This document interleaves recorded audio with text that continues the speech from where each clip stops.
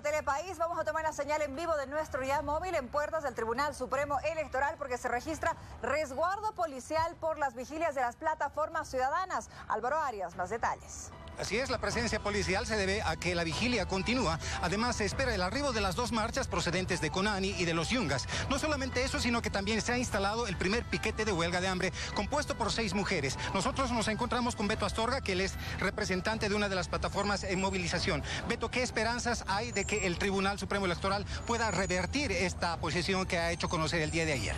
Eh, bueno, nosotros ya nos hemos declarado en resistencia permanente para recuperar la democracia y vamos a hacer pues esa presión correspondiente han llegado de Cochabamba, han llegado de, Santa Cruz. Este punto, además de ser vigilia, también es el punto de la resistencia por la democracia y para recuperar la democracia. Estamos eh, en, una emergencia total, estamos esperando a los marchistas también y mañana el paro cívico va a ser contundente, no se va a mover ni una mosca en toda Bolivia y en ese sentido vamos a reiniciar esta resistencia eh, para recuperar la democracia. Les decimos a los vocales que los declaramos traidores de las plataformas ciudadanas y además traidores traidores de la democracia. También se habla de otras medidas, como por ejemplo crucifixiones. ¿Es esto así? Efectivamente, ya hay seis, seis compañeras eh, huelguistas que son mujeres, también están viniendo los de, los de Cochabamba, se van a crucificar.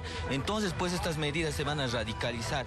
En ese sentido, nosotros como plataformas ciudadanas le hemos entregado nuestro tiempo a Bolivia, le hemos entregado parte de nuestro destino y si tenemos, si tenemos que entregarlo nuestra vida, lo vamos a hacer, porque tenemos que recuperar la democracia y porque creemos que lamentablemente Bolivia se está volviendo una dictadura. ¿Cuándo se prevé que la marcha pueda arribar acá a la Plaza Baroa? La de Chulumani va a estar hoy día, la de Conani va a estar mañana y en ese sentido mañana vamos a realizar este paro cívico, va a haber una concentración también aquí en la, en la Plaza Baroa y ya las medidas se van a radicalizar profundamente con huelgas, piquetes y además eh, con, con crucifixiones.